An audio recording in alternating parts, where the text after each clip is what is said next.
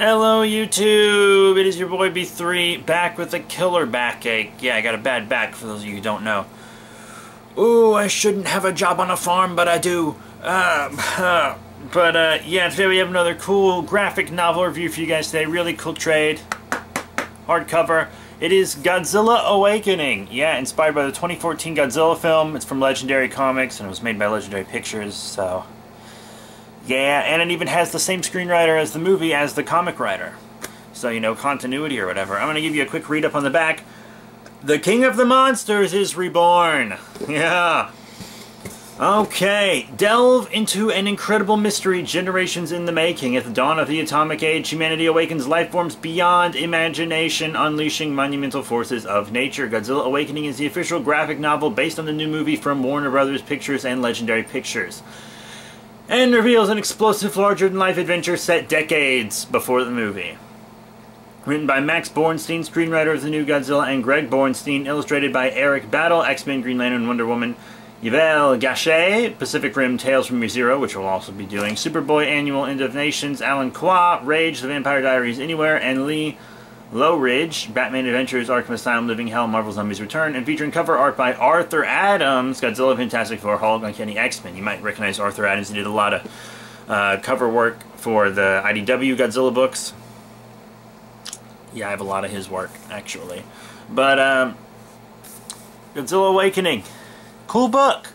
Uh, it's not very long, as you can clearly see. Uh, so, you know, that nuke, one of the nukes they dropped on Japan, awakened this monster that's actually a collection of giant cells. Uh, so it can like form and reform. It looks like a bat scorpion creature, which is pretty cool. Uh, Shinomura, I think is what they called it. It was pretty dope. Uh, but it was flying around, and then Monarch was created, and Serizawa's father, who is the protagonist of this book, was recruited to help defeat it. Uh, and this book is him telling his son, Dr. Serizawa, who's not a doctor yet at the time of this book, but who becomes Dr. Serizawa for the movie, played by Ken Watanabe. Uh, he's telling him the story, and he's talking about Godzilla and all this awesome stuff that's going down. So, uh, they're trying to destroy Shinomura, and Godzilla's trying to destroy Shinomura. and uh, it's just it's a pretty straightforward story. It's just them chasing the monsters and learning about them, and then uh, they dropped the A bomb on Godzilla in the end, like they said they did in the movie. It's real basic. Like there's not too much to go into. Uh, I did see a Biolante and a King Kong reference. I think. I don't think King Kong was officially going to be part of the universe at the time of this book. I really don't think he was. Uh, but it was pretty cool. Uh, now King Kong is. This was canon at first, but I don't think it's canon now. I just want to say that. Uh, it was canon, but now I don't think it is. So that's, you know, that's that. But it's still a pretty cool book. I really dig the art. It's pretty cool. I'm just telling you stuff while I look for that King Kong Biolante photo. But uh, there was also like a giant shrimp monster in it, but I mean, it didn't do anything. It just kind of died. It was getting eaten, and then it was on display in a lab. So that's that. But lots of cool stuff went down. Nice fights between Godzilla and the Shinomura. Here we go. Uh, see that gorilla back there in the back? You see that rose looking thing right there? Yeah, at least I think that's a rose. I don't know. It looks rose-ish rose -ish to me. It looks plant-like at least. So that's that.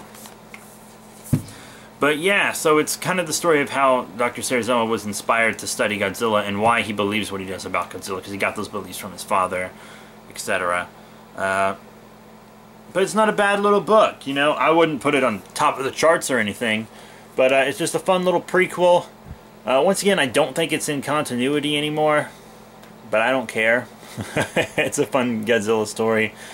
Pretty basic stuff, though. Nothing really groundbreaking in it. But if you're a big Godzilla fan, go ahead and get it. You know, you can get it for a good price on Amazon. I don't remember where I got it for because I got it back in like 2014. So I don't remember where I got it from. Uh, that was years ago. but uh, it's still a pretty cool book. So that's it. Thank you all very much for your support. Remember to rate, comment, and subscribe. Check out all the cool links in the description below, Facebook, Twitter, etc. And uh, that's it. This has been Godzilla Awakening by Max Borenstein and Greg Borenstein. Yeah, the Borensteins. The Borensteins. Jews. The Borensteins. so that's it. Thank you all once again, and I'll see you all later.